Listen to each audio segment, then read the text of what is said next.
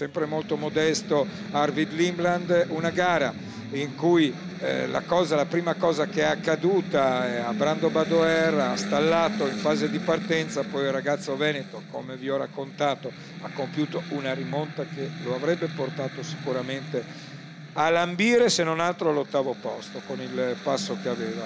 Eh, Lindland come ha detto prende il comando, poi va per circa 5 giri, tenta di non forzare tantissimo proprio per gestire le gomme, poi ricostituisce il gap che aveva con Ugo Ciucco.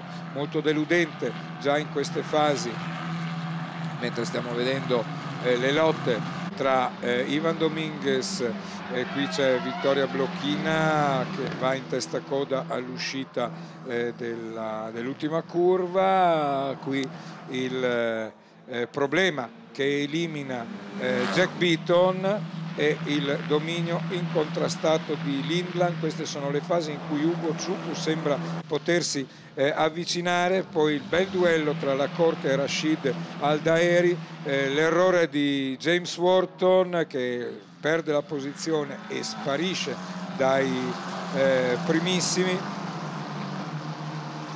Lo vedete Wharton alle prese anche con un problema tecnico. E poi la vittoria di Arvid Lindland netta